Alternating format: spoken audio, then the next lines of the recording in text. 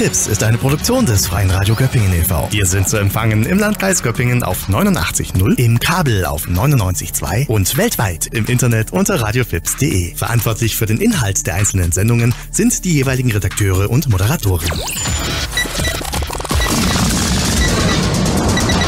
Fips und das Radio lebt. Autoren schreiben Bücher. Bücher werden gelesen. Autoren lesen ihre Bücher. Auf der Radio Fips Lesebühne. Eine Sendung in Zusammenarbeit mit dem Manuela Kienzel Verlag.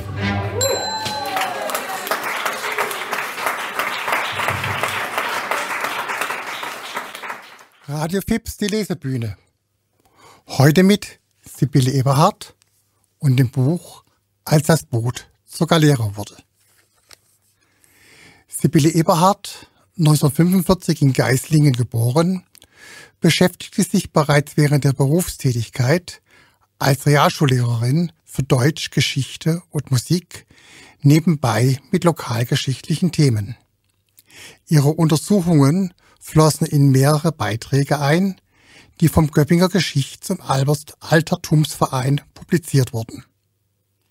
Nach ihrer Pensionierung verlagerte sich ihr Forschungsschwerpunkt auf die deutsch-polnische, auf die deutsch-polnischen Beziehungen. Der sein Niederschlag in der im Manuela Kienzel Verlag erschienenen Studie Der Mordfall Koschek und einem dokumentarischen Theaterstück Der Pole muss weg wiederfand. Darüber gab es auch vor Jahren mal eine szenische Lesung hier im Radio Fips in der Lesebühne. In ihrer neuen Arbeit verbindet sie beide Schwerpunkte. Wir begleiten 18 polnische Jüdinnen auf ihrem Weg durch die im Titel angegebenen Lager sowie 16 von ihnen bei der Zwangsarbeit bei der WMF. Dabei lernen wir die Lebensverhältnisse der Juden im, Vor im Vorkriegspolen ebenso kennen wie die Auswirkungen, die die deutsche Besatzung auf die polnischen und jüdischen Bevölkerung im Zweiten Weltkrieg hatte. Zudem gewinnen wir Einblicke in die Verknüpfung der deutschen Rüstungsindustrie mit dem KZ-System und dessen Personal. Das Buch begleitet, wie schon gesagt, 18 jüdische Frauen auf ihrem schicksalhaften Weg aus ihrer polnischen Heimat und durch die dort von der deutschen Besatzung während des Zweiten Weltkriegs errichteten Ghettos durch die Konzentrationslager Auschwitz-Birkenau und Bergen-Belsen und bei ihrem Einsatz als Zwangsarbeiterinnen in der heute noch bekannten Firma, weltbekannten Firma WMF in Geislingen-Steige, die während des Zweiten Weltkrieges Rüstungsgüter produzierte, bis sie zu ihrer Befreiung durch, der, durch amerikanische Gruppen in Allach bzw. am Sternberger See. Worauf bezieht sich der Titel des Buches und wie sind Sie, Frau Eberhardt, überhaupt auf das Thema gestoßen? Der Titel bezieht sich auf die Herkunft der Zeitzeuginnen aus dem Raum Lodz. Der polnische Städtename bedeutet Boot. Das städtische Wappen zeigt ein Boot, das mit seinen Rudern einlädt, selbstbestimmt durch die Gewässer des Lebens zu schippern, was bis zum Jahr 1939, das heißt dem deutschen Überfall auf Polen, auch möglich war. Unter deutscher Besatzung verwandelte sich das heimatliche Boot zu einer Galeere, in der schon Kinder als Arbeitssklaven missbraucht wurden. Ich bin 2015 durch einen Zeitungsartikel auf die Endphase dieser Sklavenhalterschaft gestoßen, als die deutsche Rüstungsproduktion in der WMF durch das nahende Kriegsende zum Erliegen kam und die überflüssig gewordenen jüdischen Arbeitssklavinnen im April 45 abgestoßen werden sollten. Unsere Lokalzeitung NWZ berichtete von der Auffindung einer Transportliste von Geislingen nach Dachau-Allach, auf der die circa 800 überlebenden Zwangsarbeiterinnen mit Häftlingsnummer, Namen, Geburtsort und Datum verzeichnet waren. Diese Liste bot den Ausgangspunkt für meine weiteren Forschungen.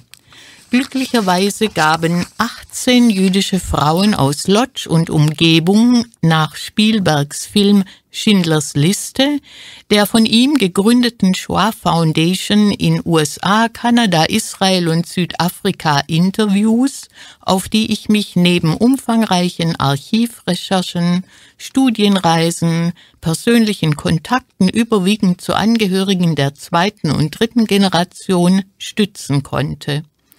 Nach dreijähriger Arbeit konnte das Buch im Kinzel Verlag Hohenstaufen erscheinen, das ich nun vorstellen möchte.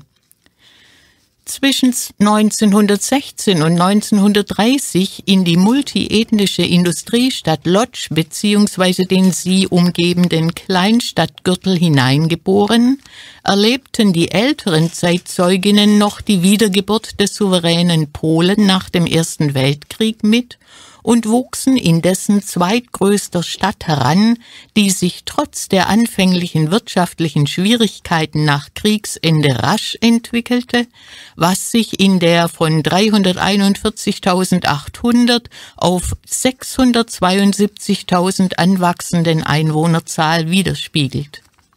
Die jüdische Minderheit, die ein gutes Drittel der Stadtbewohner umfasste, ließ sich überwiegend im Norden der Stadt einschließlich der Altstadt nieder, während die in der Zwischenkriegszeit auf zehn Prozent geschrumpfte deutsche Minderheit in die südliche Neustadt bevorzugte. Die polnische Mehrheit, die 55 Prozent der Städte ausmachte, breitete sich von den Außenbezirken bis in den Stadtkern hinein aus.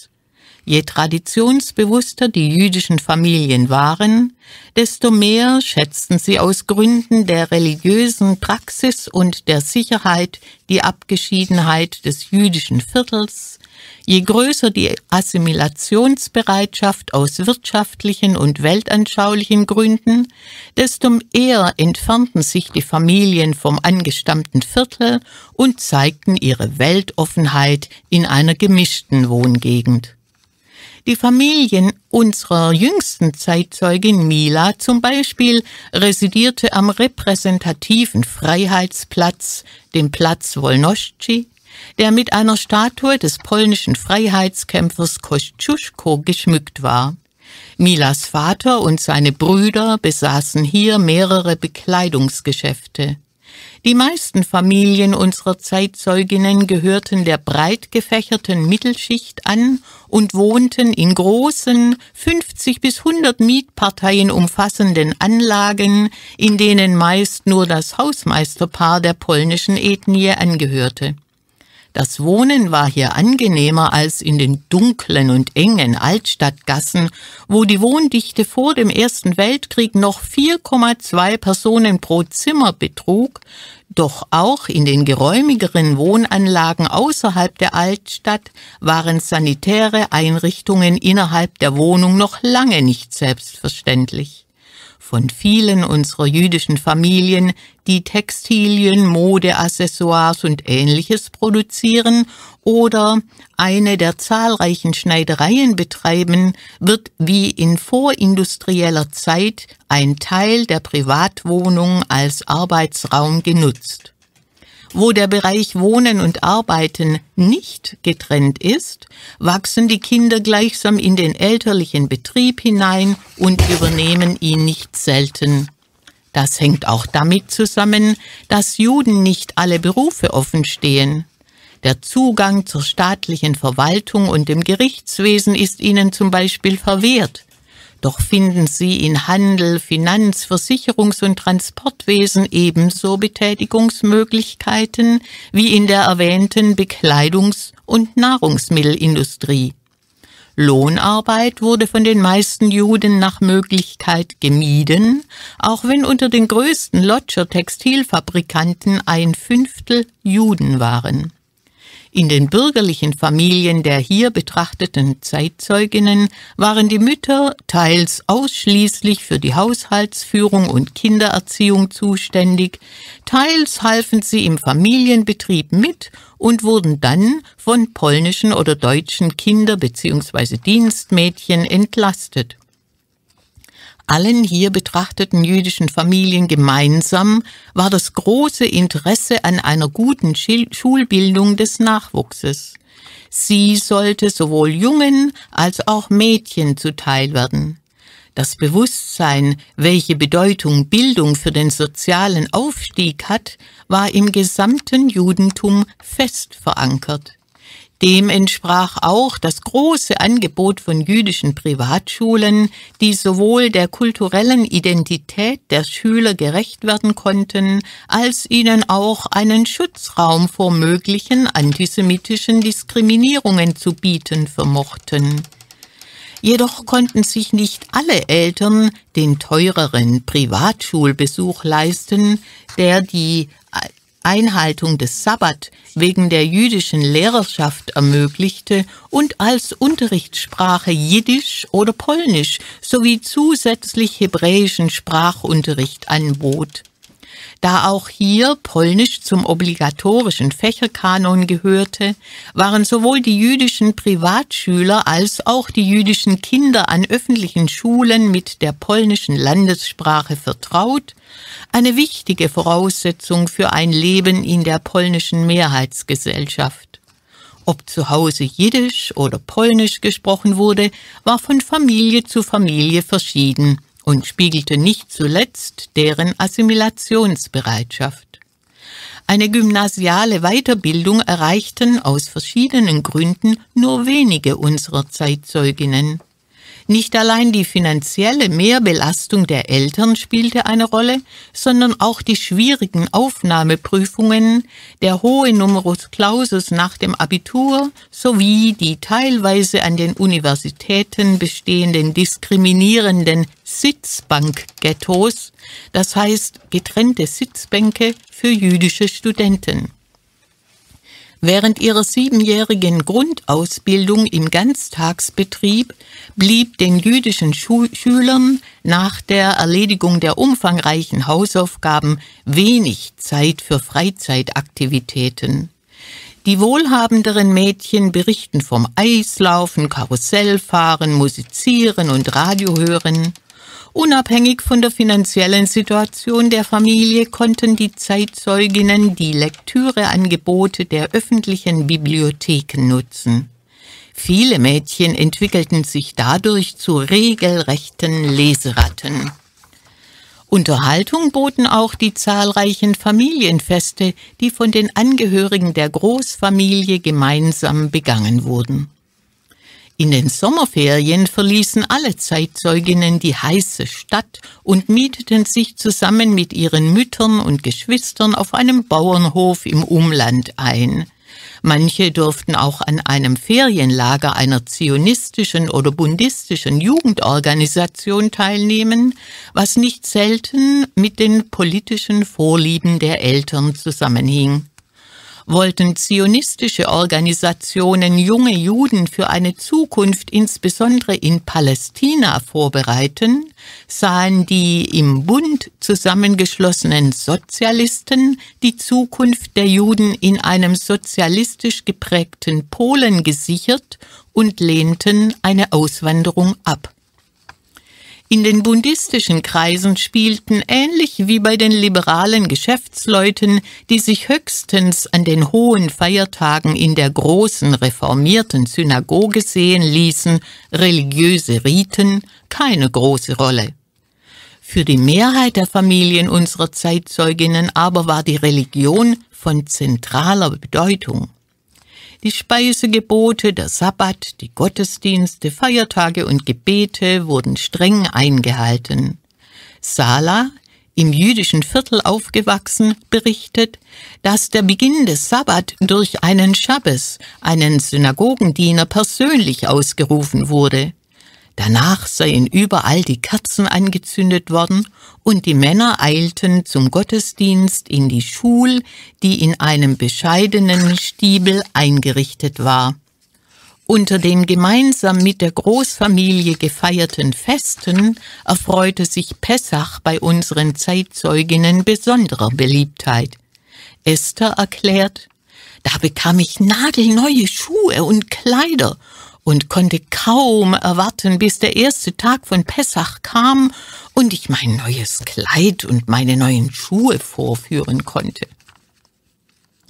Die Geborgenheit innerhalb der Großfamilie und der jüdischen Gemeinde wurde umso wichtiger, je mehr antisemitische Vorfälle durch das Mitte der 30er Jahre erstarkende rechtsgerichtete Lager der Nationaldemokraten toleriert oder unterstützt wurden. Unsere Zeitzeugin Rachela wird auf dem Schulweg von polnischen Schülern angepöbelt, die krakehlen. Juden, fort mit euch nach Palästina, wir wollen euch hier nicht. Eine andere Zeitzeugin erwähnt Plakate mit dem Slogan Polen den Polen. Wieder andere Boykottaufrufe aus Konkurrenzleid wie Kauft nicht bei Juden, sondern bei euren eigenen Leuten. Neben solchen Verbalattacken gab es auf Wochenmärkten auch gewaltsame Ausschreitungen mit Toten und Verletzten.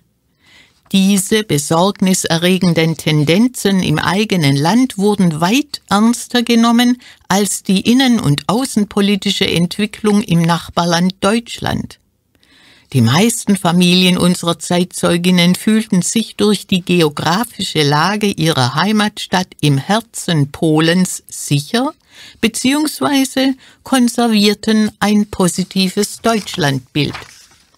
Viele Städter, darunter auch einige Zeitzeuginnen, wurden noch in, den, in der Sommerfrische von der Mobilmachung am 30.08.1939 überrascht kehrten überstürzt nach Hause zurück und erlebten schockiert die Bombardierung ihrer Heimatstadt Lodz am 2. September mit, die erhebliche Schäden anrichtete und über 300 zivile Opfer kostete aus Westpolen ins Landesinnere Flüchtende verbreiteten Schreckensnachrichten über die Brutalität der vorrückenden Deutschen, denen so mancher unserer Zeitzeuginnen keinen Glauben schenken wollte. So begab sich die damals 15-jährige Esther mit ihrer Freundin kurz nach dem Einmarsch der deutschen Truppen in Lodz am 8. September unbekümmert auf die Straße, wo die Mädchen von Soldaten angehalten und in einer nahegelegenen Schule den Fußboden putzen mussten, und zwar mit ihrer Unterwäsche. Miriam wurde Augenzeugin der brutalen Misshandlung orthodoxer Juden durch Deutsche, die deren Bärte abschnitten oder ausrissen. Doch war dies nur der Auftakt unvorstellbarer Terrormaßnahmen, die unmöglich alle erwähnt werden können. Aufenthaltsbeschränkungen, Beschlagnahmungen, jüdische Geschäfte, Stigmatisierung mit einer gelben Armbinde, dann mit dem Davidstern, Zerstörung der prächtigen Synagogen, Einweisung in ein mit Hausmauern und Stacheldrahtzäunen umschlossenes und von Deutschen bewachtes Ghetto in den ärmsten Stadtvierteln. Die wohlhabende vierköpfige Familie Karp wurde wie ihre jüdischen Mitbürger mit ihrem Handgepäck in eine Einzimmerwohnung mit Küche gepfercht, in der schon zwei Personen untergebracht waren. Die unzureichende Lebensmittel- und Arzneimittelversorgung begünstigte die Ausbreitung von Krankheiten der auf engstem Raum Lebenden und forderte viele Todesopfer. Für die dürftigen Lebensmittelrationen mussten Erwachsene, aber bald auch Kinder Zwangsarbeit leisten.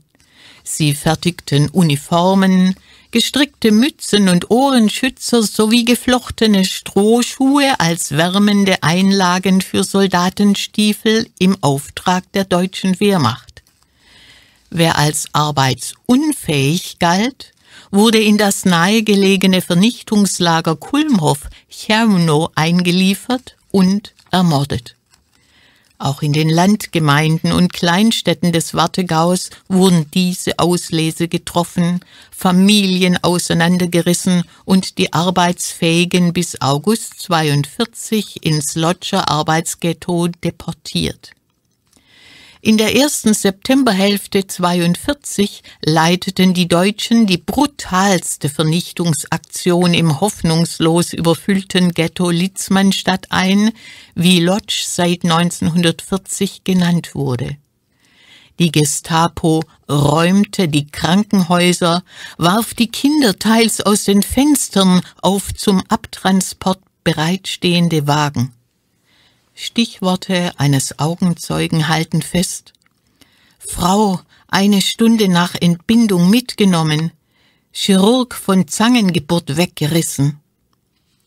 1253 Kranke fielen der gewaltsamen Evakuierung der Spitäler zum Opfer.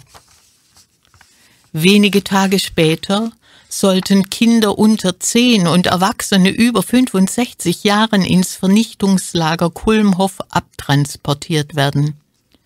Die Zeitzeuginnen beschreiben grauenhafte Szenen.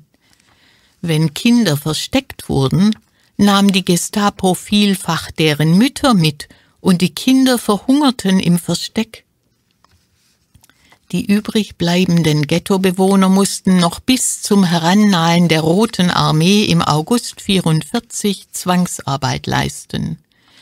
Dann wurde das Ghetto Litzmannstadt evakuiert. Bis zum 29. August rollte Güterzug um Güterzug mit 72.000 Juden von Litzmannstadt in die Todesfabriken von Auschwitz-Birkenau. Die wenigsten entgingen der Vernichtung und wurden dort noch einmal zum Arbeitseinsatz aussortiert, unter ihnen 120 Frauen und Mädchen, die nach wenigen Wochen ins KZ Bergen-Belsen deportiert wurden, das als Verteilerzentrum für in der Rüstungsproduktion einzusetzende Häftlinge fungierte. Töne vermögen besser als Worte die Empfindungen der traumatisierten Frauen und Mädchen zum Ausdruck zu bringen. Wir hörten einen Teil aus dem Thema volles Films Schindlers Liste. Hier ist Radio Fips, die Lesebühne. Warum der Titel? Wir haben heute Sibylle Eberhardt zu Gast mit dem Buch als das Boot zur Galeere wurde. Wie jüdische Frauen und Mädchen aus Lodz und Umgebung Ghettoisierung, Lagerhaft in Auschwitz-Birkenau, Bergen-Belsen, Zwangsarbeit in Geislingen-Steige und die Deportation nach Allach überlebten. Im ersten Teil der Lesung ging es schwerpunktmäßig um die Ghettoisierung und die Lagerhaft in Auschwitz-Birkenau Jetzt im zweiten Teil der Lesung wird der Schwerpunkt Zwangsarbeit in Geislingen sein.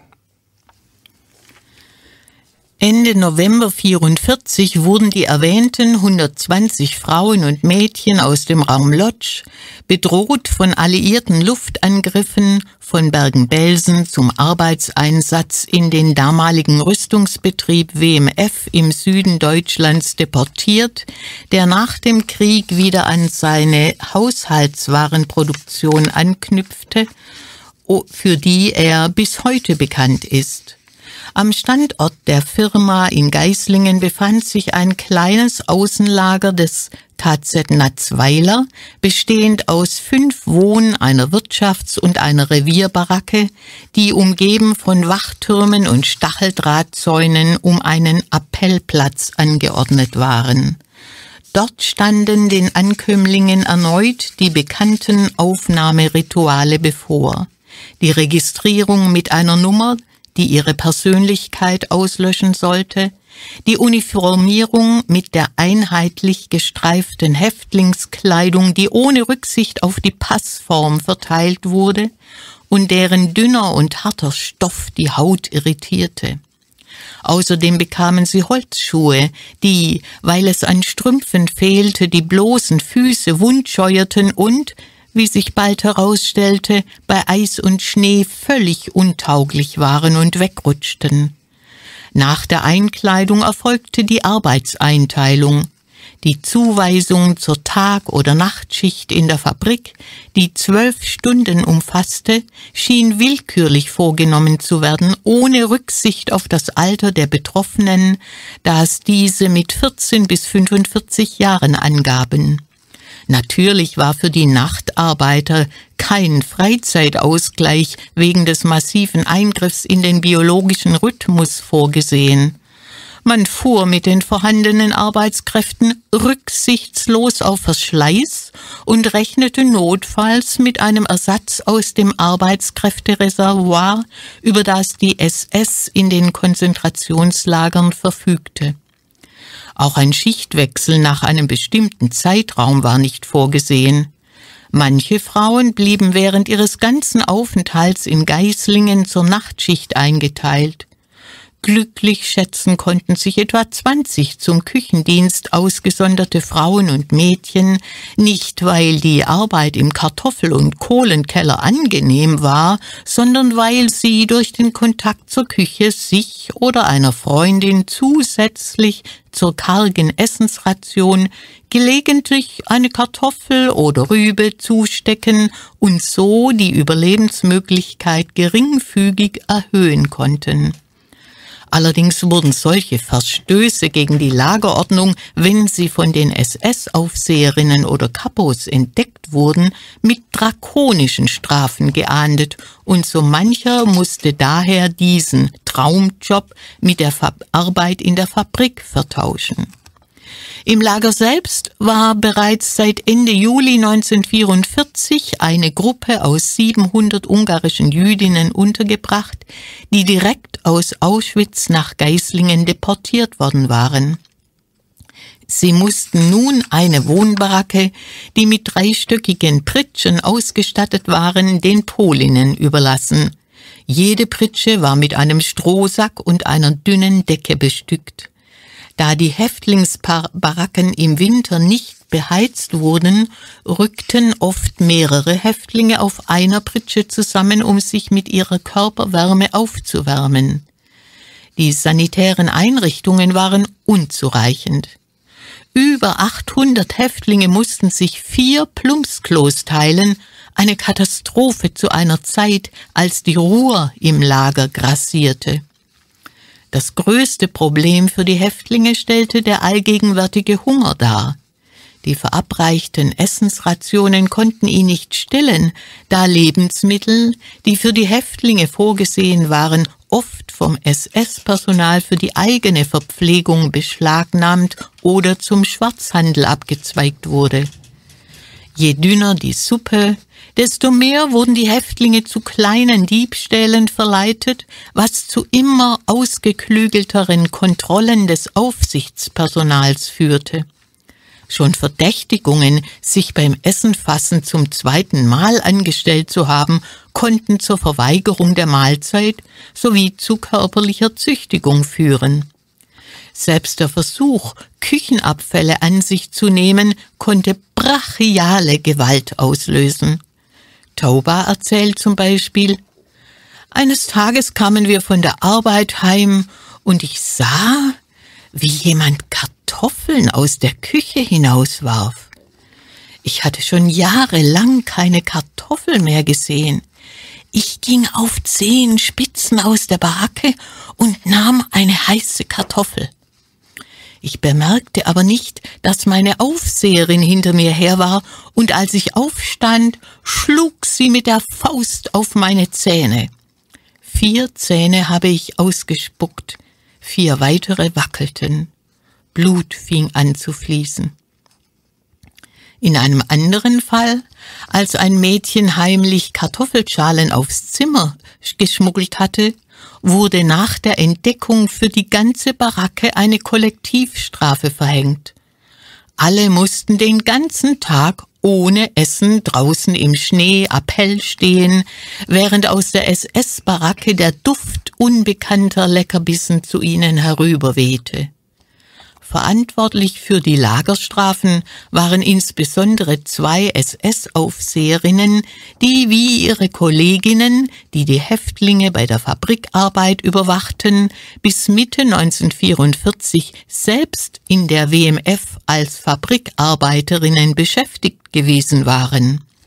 Sie waren im gleichen Alter wie der Großteil der ihnen unterstellten Häftlinge und hatten sich im Juni 44 in der Hoffnung auf wirtschaftliche Vorteile, leichtere Arbeit und ein höheres Sozialprestige für eine Kurzausbildung als SS-Aufseherin anwerben lassen und setzten nun bei ihrem Einsatz in Geislingen skrupellos um, was sie bei ihrer Ausbildung in Ravensbrück gesehen haben mussten. Obwohl sie selbst unter der schweren Fabrikarbeit gelitten hatten, zeigten sie den Häftlingen gegenüber kein Mitempfinden oder eine gewisse Nachsicht. Nur eine Aufseherin empfand bei ihrer Tätigkeit ein Unbehagen und quittierte schließlich den Dienst, was keine negativen Konsequenzen für sie hatte. Ausschlaggebend für diesen Schritt war wohl der Rücktransport von zwölf kranken und schwangeren ungarischen Häftlingen nach Auschwitz vor der Ankunft unserer polnischen Zeitzeuginnen. Den verlängerten Arm der SS bildeten sechs politische Funktionshäftlinge, die Anfang Februar 45 noch durch zehn als asozial gekennzeichnete Häftlinge verstärkt wurden. Bis auf eine Kapo wurden die meist durch eine lange Lagerkarriere geprägten Funktionshäftlinge von den einfachen Häftlingen negativ beurteilt. Besonders gefürchtet war die Lagerälteste und die Küchenkapo, beide kommunistische Aktivistinnen des Widerstands. Erstere hatte diese Funktion schon zuvor in Ravensbrück und Auschwitz-Birkenau zum Schrecken ihrer Mithäftlinge ausgeübt. Zu den zahlreichen Opfern dieser gestörten Persönlichkeit gehörte auch die bereits erwähnte, inzwischen 14-jährige Mila, die sich eines Tages vergeblich bemühte, auf die Beine zu kommen und dem obligatorischen Zählappell beizuwohnen. Sie erzählt, wie die Lagerälteste in die Baracke kam und stundenlang mit der Faust auf sie einschlug, mit schlimmen Folgen. Sie hat diesen Wangenknochen in meinem Gesicht gebrochen, erklärt Mila und fährt fort. Ich verspürte Schmerzen, und als ich mit meiner Hand tastete, spürte ich mein Auge irgendwo hängen. Sie hat mein Gesicht zertrümmert. Eine furchtbare Erfahrung für ein junges Mädchen. Im Krankenrevier konnte die Häftlingspflegerin, der keine Medikamente zur Verfügung standen, nichts für Mila tun und ihr nur ein Bett anbieten. Das entstellte Gesicht der 14-Jährigen konnte erst nach der Befreiung durch mehrere Operationen von Spezialisten der Gesichtschirurgie einigermaßen wiederhergestellt werden. Auch an öffentlichen Auspeitschungen von Häftlingen beteiligte sich die Lagerälteste, sofern diese nicht durch den Lagerführer oder die Erstaufseherin vorgenommen wurden. Zur Abschreckung für die Häftlinge wurde ein solches Exempel gern am arbeitsfreien Sonntag statuiert. Dazu wurden alle Häftlinge auf dem Appellplatz zusammengerufen, auf dem ein Stuhl in die Mitte gestellt wurde. Das Mädchen, das bestraft werden sollte, musste vor aller Augen seinen Rock hochziehen und sich über den Stuhl legen.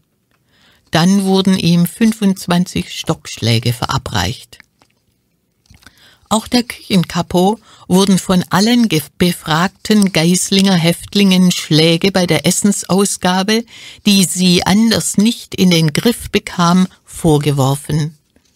Schikanös ausgedehnte Zählappelle bei jedem Wetter und Zusatzarbeiten im Lager nach der Fabrikarbeit erschwerten das Dasein der Häftlinge im Lager.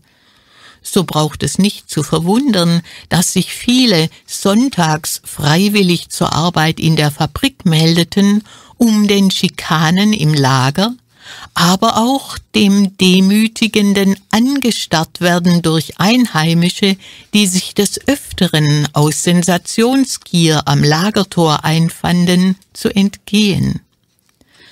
Auch auf dem Weg zur Arbeit erfuhren die Häftlinge wenig ermutigende Gesten durch die einheimische Bevölkerung. Hier und da wurde ihnen ein oder mehrere Äpfel zugesteckt, was allerdings die begleitenden Wachen zu verhindern suchten. Meist nahmen sie den Häftlingen das Geschenk wieder ab und bestraften sie rigoros mit Schlägen. Den 1,6 Kilometer langen Ausmarsch empfanden die Häftlinge besonders im Winter unzureichend bekleidet und teils ohne Strümpfe in unbequemen Holzschuhen als sehr beschwerlich. Erfrierungen und Entzündungen der wundgescheuerten Füße waren weit verbreitet. Wer irgendwo einen alten Lumpen ergattern konnte, wand sich diesen um die Füße. Um den Körper vor der schneidenden Kälte zu schützen, kamen einige auf die Idee, die dünne Decke, die sie zum Schlafen erhalten hatten, unter der Häftlingskleidung um den Leib zu wickeln. Doch nach kurzer Zeit wurde das Manöver entdeckt. Die betroffenen Frauen mussten zur Abschreckung sechs Stunden im Freien in großem Abstand voneinander stehen, um sich nicht gegenseitig wärmen zu können. Ihr Weinen und Klagen nützte ihnen nichts. Am Werkstor wurden die Schichtarbeiterinnen noch einmal durchgezählt und zu ihren Arbeitsplätzen geführt. Für alle Jüdinnen war die Arbeit in einem metallverarbeitenden Rüstungsbetrieb unbekannt. Waren die Polinnen die langen Arbeitszeiten in den Lotscher Ghettobetrieben schon gewohnt, so mussten sich die Ungarinnen auch daran erst gewöhnen. In den Quellen sind drei Abteilungen erwähnt, in denen KZ-Häftlinge zur Arbeit eingesetzt wurden, und zwar die Presserei, die Walzerei und die Schweißerabteilung. Allen dreien ist ein hohes Gefahrenpotenzial am Arbeitsplatz gemeinsam. Eine ungarische Jüdin berichtet von ihrem ersten Eindruck, den sie von ihrem künftigen Arbeitsplatz in der Presserei bekam. Wir betraten einen riesigen Käfig mit massiven eisernen Monstern. Der einweisende Meister erklärte, das sind die Pressen für Pistolen und Maschinengewehre. Die Ungarinnen betrachteten die Ungetüme dieser ihnen fremden Industriewelt mit Entsetzen, das sich noch durch die ausgesprochene Warnung steigerte, auch nur eine Sekunde Unachtsamkeit könnte ihnen den Verlust eines Fingers oder einer ganzen Hand eintragen. Zusätzlich gab eine Aufseherin den Frauen zu verstehen, dass sie eine zweitägige Probezeit an den Pressen, an denen nie zuvor Frauen gearbeitet hätten, absolvieren müssten. Würden sie diese nicht bestehen, würden sie nach Auschwitz zurückgeschickt. Unter dieser Prämisse setzte sich die Ungarin Giselle am nächsten Tag vor eine solche Presse, die hoch über sie aufragte. Ihre Tätigkeit beschreibt sie so. Ich musste einen gut zwei Zentimeter hohen Metallblock genau platzieren und dann ein Pedal betätigen. Der Pressestempel donnerte auf das Metallstück herab, dann musste ich ihn wieder nach oben schieben, entfernte die halbseitige Pistole mit ihren scharfen Rändern und legte sie in eine Kiste. Danach wurde der Vorgang wiederholt, ohne dass Zeit blieb, sich aufzurichten oder umzuschauen. Zwölf Stunden lang musste, abgesehen von einer kurzen Essenspause, der Arbeitsgang wiederholt werden.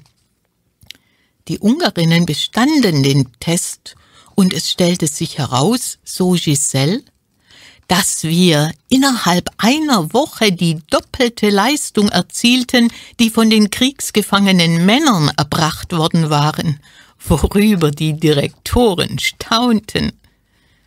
Der angedrohte Rücktransport nach Auschwitz, der wie ein Damoklesschwert über ihnen hing, hatte sie zu diesen Höchstleistungen gebracht. Damit hatten sie zugleich aber auch eine Norm für die nach ihnen eintreffenden polnischen Kolleginnen gesetzt. Um überforderte Frauen vor einem Rücktransport nach Auschwitz zu schützen, veränderte ein Betriebsleiter die Arbeitsorganisation durch Zerlegung der Tätigkeit in eine Vielzahl von Einzelarbeitsgängen. Diese Erleichterung erhöhte allerdings die Monotonie und verstärkte die Ermüdung bei der Arbeit. Wie viele Arbeitsunfälle auf das Konto von Ermüdungserscheinungen gingen, wurde in keiner Statistik erfasst. Die psychische Belastung infolge der eintönigen Arbeit erklärt eine polnische Jüdin so. Ich wusste nicht, was ich da produzierte. Ich musste einen Griff nach unten drücken und dann wieder hochziehen. Munition. Was es genau war, ich weiß es nicht. Sie betätigt einen Griff zwölf Stunden am Tag, sie muss den Rhythmus der Maschine aufnehmen, wird selbst zur Maschine degradiert, zum seelenlosen Roboter. Das Produkt interessiert sie nicht, es wird ihr nicht erklärt und bleibt ihr fremd. So wird sie zum klassischen Beispiel entfremdeter Arbeit. Erschwert wurde die Situation am Arbeitsplatz zudem durch den ständigen Überwachungsdruck, dem die Häftlinge durch die Werksaufseherinnen ausgesetzt waren. Wer gegen das Redeverbot am Arbeitsplatz verstieß, ein kleines Geschenk, zum Beispiel einen Kamm von deutschen Mitarbeitern annahm, die Toilette eigenmächtig aufsuchen wollte, wurde mit Schlägen von den Aufseherinnen traktiert. Von Seiten der Vorarbeiter und Meister sahen sich die Häftlinge keinen Misshandlungen ausgesetzt, doch gaben sie zu verstehen, dass das zivile Aufsichtspersonal hohe Präzisionsanforderungen stellte. Eine Zeitzeugin fasst den Leistungsdruck so zusammen. Wir mussten liefern, die Produktion musste erreicht werden. Unterbrochen wurde die Arbeit durch die Essenspause, bei der es wegen der dürftigen Portionen des Öfteren zu tumultartigen Szenen kam, denen die Aufseherinnen mit Schlägen begegneten. Eine ungarische Jüdin klagt, die SS-Leute haben alles Nahrhafte für sich behalten. Käse, Fleisch, Zucker. Wir haben Suppe aus Kartoffelschalen bekommen. Durch Meister und Ingenieure bekam die Geschäftsleitung Wind von der unzureichenden Ernährung, die die Leistungsfähigkeit ihrer Arbeitskräfte beeinträchtigen musste. So wurde angeordnet, dass wenigstens die in der Nachtschicht beschäftigten Häftlinge eine Zusatzmahlzeit aus Kantinenresten bekamen, eine gute Suppe, wie eine Zeitzeugin urteilt. In manchen Abteilungen steckten auch die Vorarbeiter den Häftlingen ein wenig Brot, gelegentlich ein dringend mit benötigtes Medikament zu, womit sie sich natürlich selbst in Gefahr brachten. Einige Kranke waren schon zu sehr geschwächt, als dass sich ihr Körper aus eigener Kraft noch hätte regenerieren können. So erlagen insgesamt zwölf Erwachsene und ein Baby den Strapazen einer lebensfeindlichen Umwelt. Sie wurden anonym außerhalb des Geislinger Friedhofs in einem Massengrab verscharrt und erst 1946 auf Initiative der israelitischen Gemeinde auf die israelitische Abteilung des Göppinger Friedhofs umgebettet. In den ersten beiden Monaten des Jahres 1945 ließ die mangelnde Energieversorgung infolge des Zusammenbruchs des Transportsystems sowie die Rohstoffknappheit die Produktion stocken und die Geschäftsleitung der WMF versuchte, die nutzlos gewordenen Häftlinge abzustoßen. Diese wurden nun im Lager gehalten und der Bevölkerung der Umgebung als Arbeitssklaven für Tätigkeiten in Land- und Forstwirtschaft sowie in Privathaushalten gegen ein kleines Entgelt in Naturalien verliehen, das ihr Überleben sichern musste. In den ersten Apriltagen spitzte sich die Lage durch die Ankunft weiterer Häftlinge aus den aufgelösten Lagern Kalve und Geisenheim am Rhein zu, für die sich in Geislingen niemand zuständig fühlte, so dass die dortigen Häftlinge noch enger zusammenrücken und ihre dürftige Verpflegung mit den Neuankömmlingen teilen mussten. Erst am 11.04. gelang es der Geschäftsleitung der WMF, einen Zug für den Abtransport aller Häftlinge nach Dachau-Allach zu organisieren, wo diese circa zwei Wochen provisorisch untergebracht wurden, bis auch das Lager Allach aufgelöst und die jüdischen Häftlinge in Güterzüge Richtung Tirol verladen wurden. Am Starnberger See konnten amerikanische Truppen die Unglücklichen am 30.04.1945 befreien. Radio Fips, die Lesebühne. Heute mit Sibylle Eberhardt, als das Boot zur Galeere wurde. Wir haben während der Lesung ein, zwei Fragen aus dem Internet reinbekommen. Da wir aber heute Publikum haben, möchte ich zuerst ins Publikum kurz schauen, ob es hier eine Frage gibt. Keine Reaktion. Äh, eine Anja fragt, warum hat es in Geislingen keinen Aufstand, wie zum Beispiel im Ghetto in Warschau gegeben? Dazu hatten die, hatten die ähm, Häftlingsfrauen gar keine Gelegenheit. Sie konnten nirgendwo ein Gewehr oder irgendwie eine Bewaffnung bekommen. Das war unmöglich. Die Bewachung war zu äh, intensiv. Das Ghetto eigentlich das Lager zu klein, als dass da eine, eine, eine Möglichkeit gewesen wäre, irgendein Versteck für so etwas zu finden. Vielen Dank. Frau Eberhardt, vielen, vielen Dank fürs Kommen und für die Gerne. doch sehr interessante Lesung. Ich möchte noch einen kleinen Ausblick auf die nächste Lesebühne geben. Die nächste Lesebühne ist am 9. Juni. Es liest Karl Schönweiler. Es war wie eine Wand. Auswirkungen der Reformation im Ottenbacher Tal von 1534 bis 2017. Zum Buch mit der Einführung der Reformation tat sich für die Bewohner ein tiefer Riss auf. Im Zusammenlegen innerhalb der dörflichen Nachbarschaft galt über alle Jahrhunderte eine goldene Regel. Das Thema Religion blieb tabu. Es war wie eine gläserne Wand. Eine unsichtbare Trennwand, welche in allen menschlichen Bereichen durchlässig war, jede Handreichung zuließ, nur in einem Punkt und Lebensbereich die Menschen voneinander trennte. Der Herausgeber Karl Schönweiler, Jahrgang 54, lebt in Ottenbach, Seit 1981 ist er schriftstellerisch tätig, veröffentlicht Gedichte, Erzählungen und Kurzprosa. Er beschäftigt sich seit vielen Jahren mit der Geschichte des Stauferlandes, insbesondere mit dem Blick auf das Ottenbacher Tal. Er ist engagierter Katholik, Mitglied der Kolbing-Familie Ottenbach und als solcher Mitglied in der katholisch-evangelischen Ökumene Gruppe Eislingen-Ottenbach. 9. Juni 16 bis 17 Uhr. Ich bedanke mich ganz herzlich fürs Kommen und fürs Zuhören.